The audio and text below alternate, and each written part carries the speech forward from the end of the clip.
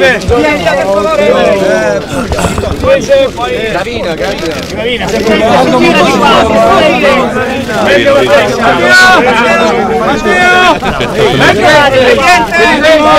Presidente! Presidente! Via davanti per favore!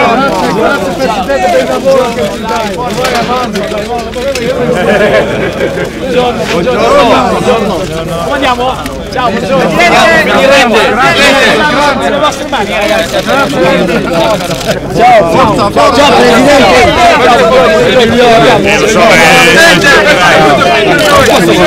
Leolo, io. Grazie. Grazie signore. Ragazzi. Come andiamo? Dai, buongiorno a tutti. Buongiorno. Vai, vai con la foto. Buongiorno. Grande. Però dai. Vai, Buongiorno. Buongiorno. Buongiorno. Andiamo. Andiamo. Buongiorno. Voi di dove siete? Uno. Uno. Mignano. Salerno. Piemontesi, Salernitani. Voi di dove siete? Presidente, un saluto. Come andiamo? Vai, Buongiorno Presidente. Andiamo, dai, dai. Ciao. Grazie Beppe. Beppe ha la preoccupazione di non finire in tempo, quindi discorso brevissimo, un saluto a tutti, a tutti voi, alle autorità, al sindaco, al presidente della regione, ma soprattutto un saluto a chi in questo momento ha la sfida più importante di tutto, che siete voi, che siete l'anima e il cuore di questo immenso cantiere. Io non vengo qui dal 14 agosto dello scorso anno, vi ricordate, pioveva che Dio la mandava, come tutti i 14 agosto, no- notoriamente a Ferragosto diluvia, quindi abbiamo anche portato un bel po' di sfortuna. Rivedere dopo questi 5 mesi, 6 mesi, di, no, 6 mesi ormai di, di lavoro è veramente un eh, tuffo al cuore. Eh, il cantiere è- vede il traguardo finale, prima passando ho detto ad alcuni di voi ma ce la facciamo? Certo, ce la facciamo, un paio, un paio mi hanno quasi preso in giro dicendo è ovvio che ce la facciamo. Ce la faremo come è sempre nel nostro DNA, anche magari facendo un po' le corse alla fine. Vorrei ringraziare le aziende che con tutte le difficoltà, con tutti i problemi che conosciamo, stanno mettendo veramente di tutto per poter fare l'ultimo, miglio. Però voi rappresentate con questo cantiere molto di più del cantiere dell'Expo.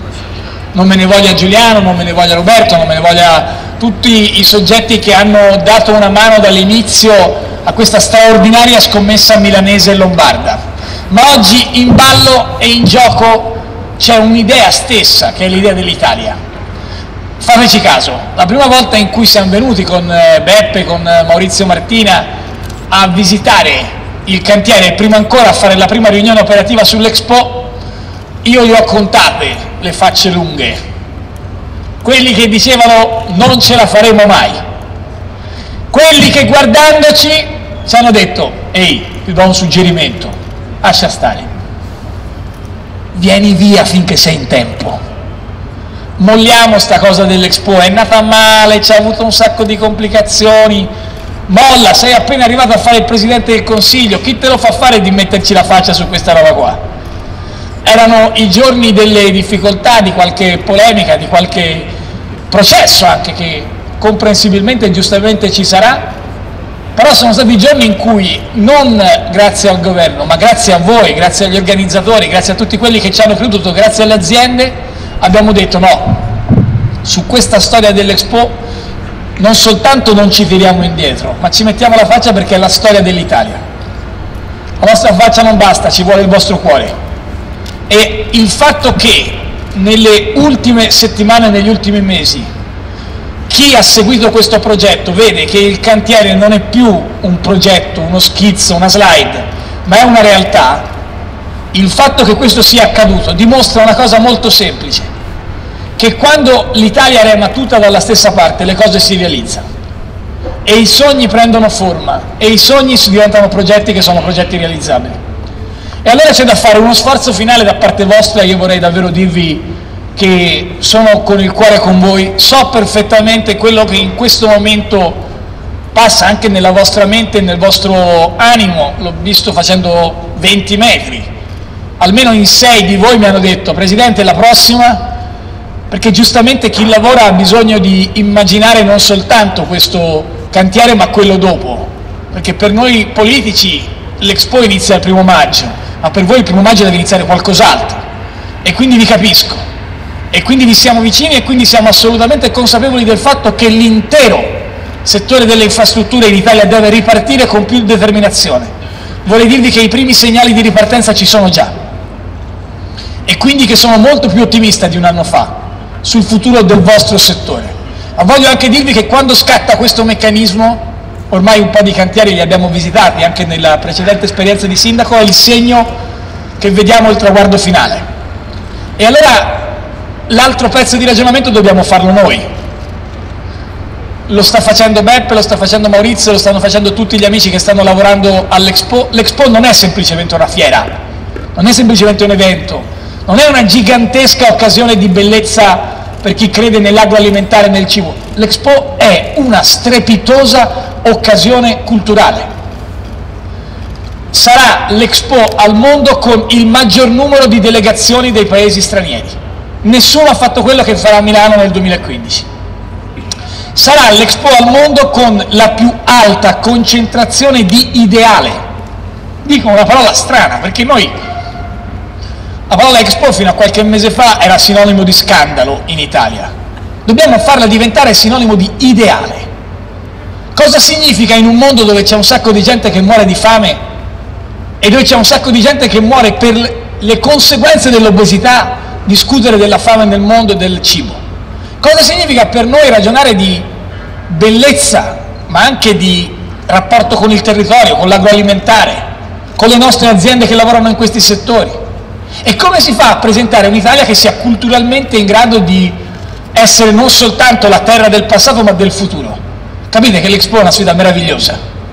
E io voglio dirlo a chi ci segue da casa, chi ha modo di conoscere un po' l'Expo, abbiamo venduto 3 milioni di biglietti in Italia, ne venderemo più di 10 alla fine di questo percorso, perché non ci sarà in nessuna famiglia italiana almeno una volta l'idea di dire vabbè, però che succede a Milano? Cos'è questo Expo? Andiamo a vederlo, andiamo a verificarlo. E nel venire a vedere l'Expo non ci sarà da vedere una fiera, un convegno, un evento, ci sarà da domandarsi se l'Italia ha un futuro o ha soltanto un passato. E poi c'è un sacco di gente che viene dall'estero. Avete visto quell'articolo, avete sentito dire quell'articolo che è uscito sul New York Times, il principale, uno dei più importanti quotidiani americani. Fino a quel momento c'erano stati 300.000 biglietti venduti negli Stati Uniti. Quando finalmente nella stampa estera l'Expo è passato per quello che è, in quell'articolo il New York Times dice che Milano è la prima destinazione da visitare nel 2015 al mondo. Pazzesco, no? Bellissimo. Dopo quell'articolo, nel giro di tre mesi, mi raccontava Beppe in due mesi, mi raccontava Beppe in macchina, i biglietti sono più che raddoppiati. Allora, se l'Expo è il luogo dello scandalo, la gente ne ha paura. Ma siccome quella pagina lì è chiusa e l'Expo è il luogo dove grandi aziende stanno lavorando gomito a gomito per raggiungere l'obiettivo e per mantenere l'impegno che hanno preso, Lavoratrici e lavoratori stanno dando anima per riuscire a portare a casa il risultato. Gli organizzatori stanno cercando di fare questa grande scommessa sull'ideale di cui abbiamo parlato. Se l'Expo diventa questo, lo capite che non è soltanto una partita che riguarda Milano, che pure sarà accogliente, bella e solidale come è sempre stato, o la Lombardia, che sarà capace di mostrare il volto più dinamico, bello e produttivo, ma è una partita che riguarda l'Italia. Questa sfida è la sfida del 2015 per il nostro Paese. Io voglio dirvi che la vinceremo, però per vincerla bisogna che adesso mi zittisca, perché se continuiamo a stare ancora un po' qua a finire che arriviamo in ritardo con i cantieri. Voglio dirvi grazie perché parlando un attimo con qualcuno di voi, entrando con le storie di persone che vengono dall'estero, anche da varie parti dell'Italia, ho incontrato una bella delegazione di pugliesi tra l'altro, e poi ho trovato uno che mi ha detto, io sono di Bergamo e Brescia, che è la prima volta che sento mettere insieme Bergamo e Brescia. Infatti gli ho detto, lei non mi dice no, sono di Bergamo, però sopporto anche i bresciani, che allora è già diversa.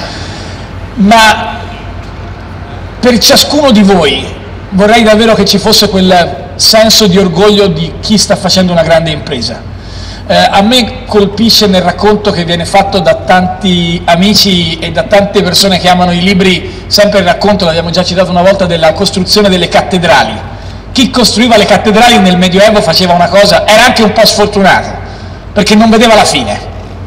Iniziava una generazione e finivano tre generazioni dopo. E non erano problemi di ritardi della burocrazia, eh? erano, erano opere straordinarie. Chi metteva mano alle cattedrali iniziava e sapeva che sarebbero stati figli o addirittura nipoti a finire. Voi oggi avete però quello stesso spirito, che posando una piccola pietra, un piccolo tassello, state contribuendo non semplicemente all'Expo Milano 2015, ma alla più grande scommessa che l'Italia fa in questo anno.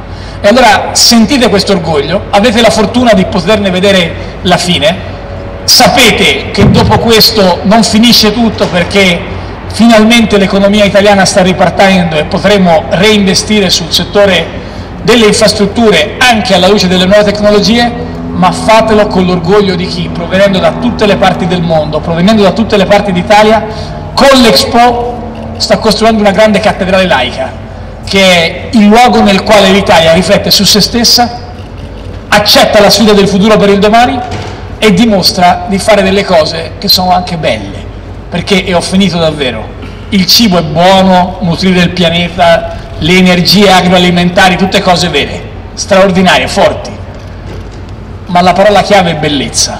E questo è un luogo che sta diventando bello, non sta diventando bello a caso, sta diventando bello grazie al vostro lavoro. A nome del governo, a nome della Repubblica io voglio dirvi grazie per quello che state facendo e adesso al lavoro tutti insieme, rush finale e facciamo vedere al mondo di che cosa è capace l'Italia. Grazie e bocca al lupo a tutti.